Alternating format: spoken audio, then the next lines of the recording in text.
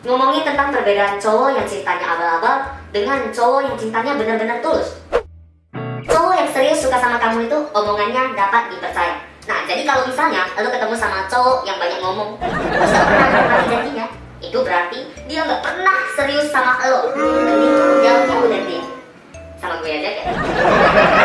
Nah, kalau suatu saat kalian sedang jalan, tiba-tiba lo ya sebagai cewek ngungkapin lu suka sama cowok itu pertama kali terus lihat respon cowok itu ngebales bahwasanya dia juga suka sama lo atau dia masih mikir-mikir berarti dia benar-benar nggak serius sama lo. Atau jangan-jangan dia udah punya yang lain.